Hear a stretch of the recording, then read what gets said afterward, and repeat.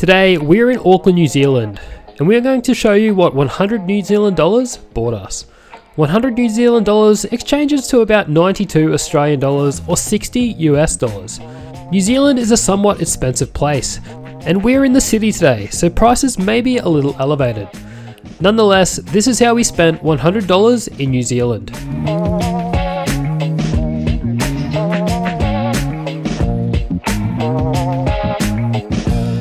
Starting off with a bang, we are heading out for breakfast at one of the best rated cafes in the whole of Auckland.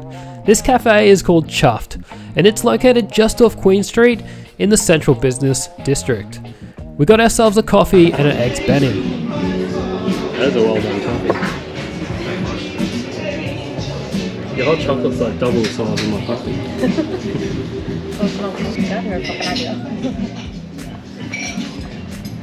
Bro, that looks gnarly. This cost us a total of $30. Now, there are way more menu options so you can get it cheaper here. However, I'd highly recommend the Eggs Benedict. It was delightful.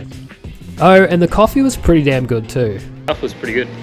Um, eggs Benny was decent. Um, they had like a potato rosti, which was actually pumpkin potato rosti. Something different. How was your bacon? It was good. Good bacon. Moving on, we adventure around the city for a while, and we ended up heading into the grocery store. Now, just like Australia, New Zealand has a Woolworths here as well. So we headed in and bought a few snacks. Costing us $3, we came out with a few snacks for the road. So I found these things at Woolies, Woolworths, which they do have in New Zealand. Surprisingly, they don't, they don't have Coles, but these are really good. These are like crowns at Woolies in Australia.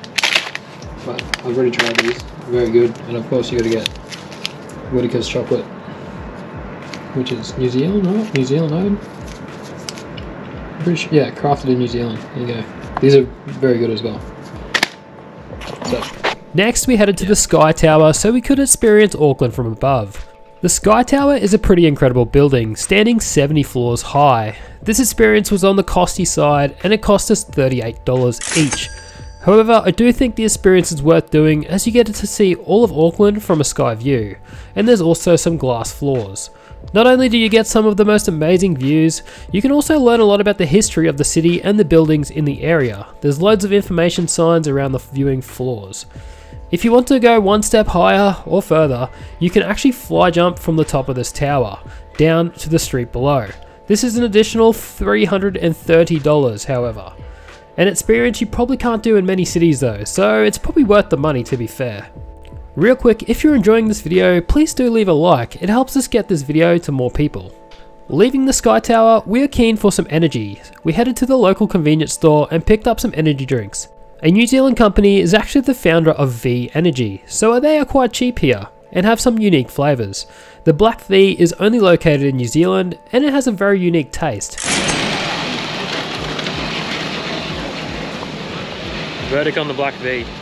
Tastes exactly like original Rockstars. The original one. No, it tastes like cough syrup. It tastes good. Continuing walking through the city streets, we stumbled across Dunkin' Donuts, a popular American chain that's made its home here in New Zealand. Being as though we don't have these donuts back home in Australia, we had to get a packet.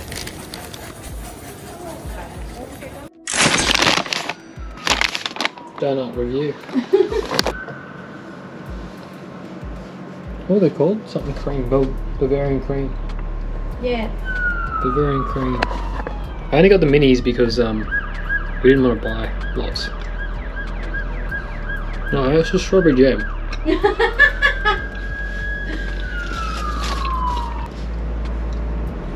I don't know.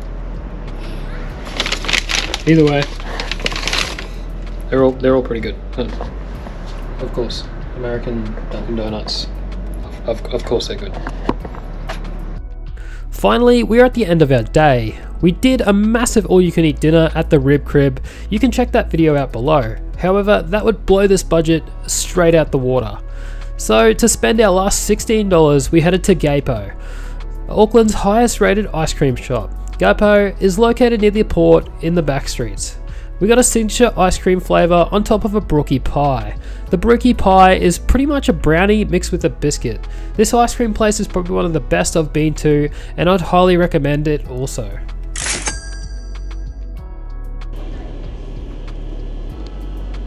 Yeah, it's meringue. I'm glad we got that pie. or the brownie or whatever it is. That, that's really good brownie. It's a cookie.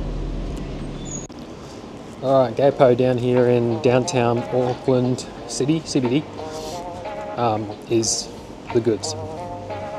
I'd like to try more of what they have there, but yeah, that ice cream is gone. What do you think of the Giapo ice cream? The Giapo. so that's how we spent $100 in New Zealand. Again, you could certainly get away with way more for your money if you choose to go to cheaper places. However, the experience at these highly rated places was really good and I'd recommend them to you guys as well.